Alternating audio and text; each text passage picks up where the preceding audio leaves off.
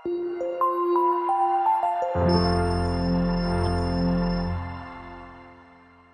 байна уу? Python цуглах хичээлийн 2-2 Python дээр дата бичих болон хэвлэх хичээл эхэлж байна. Хувьсгчийг хэрхэн оруулах, хувьсгчийн утга, тоон утга болон текст утгыг хэрхэн бичих талаар мөн арифметик үйлдэл хэрхэн хийх, олон хувьсгч байгаа тохиолдол хэрхэн хэвлэх талаар энэ хичээлээр үзэх болно. Ингээд Jupyter notebook дээр хийгээд үзье. За хувьсгчийн утга. За тоон утга эхлээд тоон утгыг оруулах. Хувьсгч А-гийн утга одооноос эхлээд 9 гэж ингэж шиж өгнө. За тэгвэл хувьсгч Б-гийн утга нь одооноос эхлээд 5 юм. Гэвч төвчлөө. За тэгвэл үнэхээр хувьсгч А-гийн утга үнэхээр 9 мөн үү гэж асуухын тулд хоёр тэнцвэрийн дамжаа тавьдаг чинь true Үнэн байна. Хувьсгч Б-ийн утга. Үнэхээр дөрөв мөн үү гэж асууж үзсэн. False. Үгүй юм аа гэж бодож. За тоон утгыг шууд ингээд бичиж өгч болно. За тэгвэл текстэн утгыг бичихтэй. Яаж хэвлэхөө гэхлээр за Python дээр хэвлэхдээ print гэсэн төлхөөрөг ашигладаг. За хаалтын дэмдэн дээр эхний хаалтын дэмдэн 50 дарангууд автоматар хоёр хаалтын дэмдэг хаагдчихна. За хашлтын дэмдэг нэг нэг одоо нэг зураас ташилдах юм болов. За энэ дээр Python гэж хэлж үзье. Python гэдгийг хэлж үзье. За ингэж хэлж үзсэн. Мөн хоёр хашлтаагаар хэлсэн ч болно. Адилхан. За хоёр аль хашлтыг хэлсэн ч ялгаа авахгүй. Ингээ текстийг хэлж байгаа. За арифметик үйлдэлхийн тулд За хэвлээ print. За адер нэмэх нь би хэдвэ? 14 юм аа. За нэмэх үйлдэл.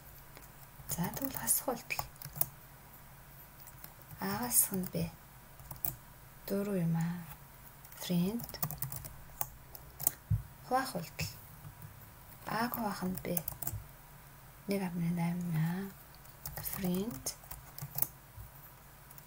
за одоо юм үлдүүлтлээ өрчих үйлдэл өрчих үйлдэл за мөн print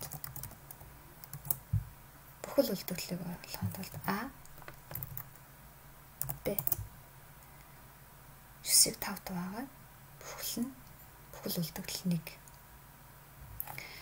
за print модулыг болгоё Б.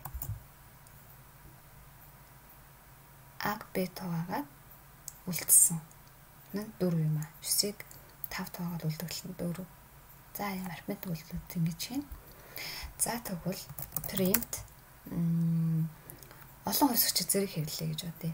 За олон хувьсгч дундаа текстэн хувьсгчүүдийг зэрэг хэвлээ. За гэсэн утгаар мөн ямар утга ажиллах вэ? За Python гэсэн утга байж болно. За мөн Excel гэсэн утга бай. За энэ зэрэг хэвлэл. Python data Python Excel зэрэг хэвлэгдэж байна. За тоон утгач мөн адилхан. Print 1 2 3 4 5 6 гэлээ 1 2 6 гэж хэлж байна. За тэгвэл А гэсэн утга нь data юм B гэсэн хувьсгчийн утга нь одооноос эхлээд Python юм гэж чинь. За мөн C гэсэн хувьсгчийн утга нь одооноос эхлээд Excel юм гэж хэл. Гэт оруулъя. За тэгвэл энийг мөр мөрөнд нь хэвлэе. За print A B C За SEP гэсэн опшн тохиргоор хувьсгч хооронд тусгаарлагч ашиглах боломжтой байдаг. За аваад тань зүү хань хашилт нэг хийж үз. Одоо мөр мөрөнд хөвлөгдөж байгааз хойшоогоо биш. За тэгвэл энийг юм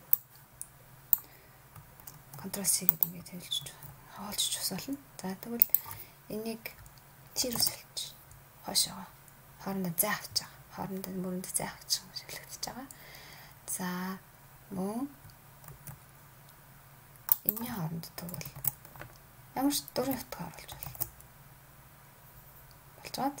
За мөн VN-ийг арилгаж байгаа.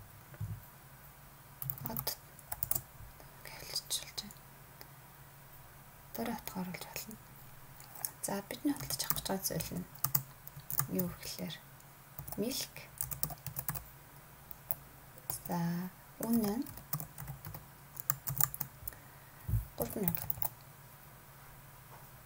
Тэгээд friend. Яг оруулах уу? Bye болон fries-ийг хэвлэе. За, хооронд нь тэнцэн тэмдэгтэй хэлж. Миллион 3000 мянга гэж гарч ирж байна.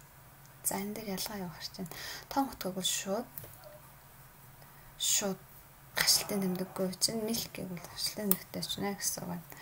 За, үсэг үсгийг бас тоолж болно элемент текст элементүүдийг тоолно гэж яриад байна. За нь сайн байна уу юм аа гэж. Сайн байна уу? За энд хэдэн үсэг орсон байна гэдэг мэдхийн тулд print. Then say. 13 гэж байна. За энэ болохоор 1 2 3 4 5 6 7 8 9 10 13 зэг элемент болго элементүүд тоонд ордог учраас ингээд 13 байна гэж. Хэлж өгч байна гэсэн үг. За Python цуврал хичээлийн 2-ын 2 хичээл өгөр өндөрлөж байна. Баяр таа.